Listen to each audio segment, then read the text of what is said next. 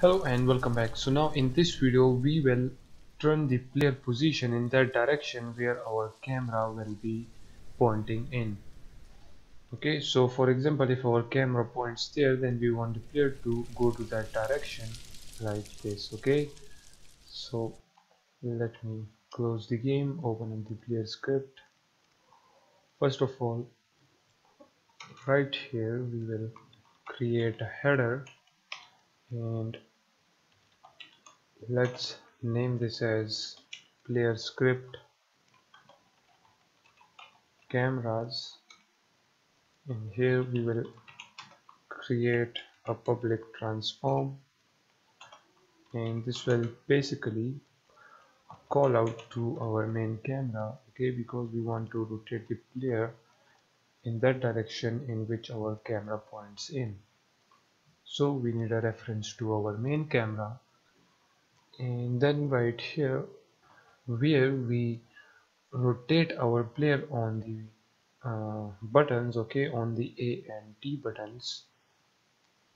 Now we want to also rotate the player on the um, camera as well. So we will say player camera dot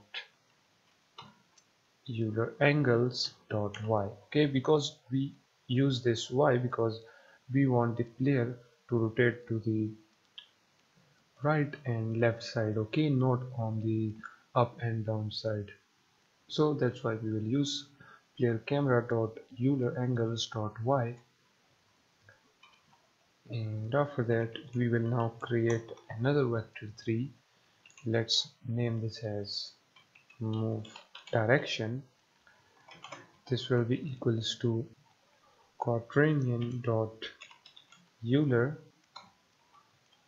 and right here for the x we will pass 0 for the y we will pass the target angle. And for the z we will pass 0 and then we will multiply this by vector 3 dot forward. And then instead of the direction we will now call the move direction. Okay because now we want to move the player using the keys and also the mouse. Okay with this done let's save this get back to unity.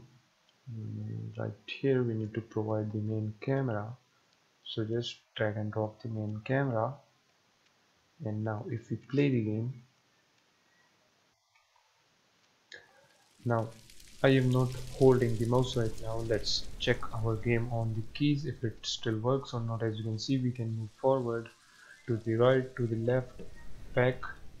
Okay we are moving on the keys.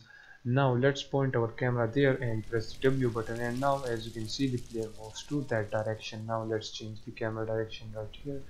And now as you can see the player moves in that direction in which we point the camera. Okay so in this way you can move the player according to the camera. With this done catch you guys in the next video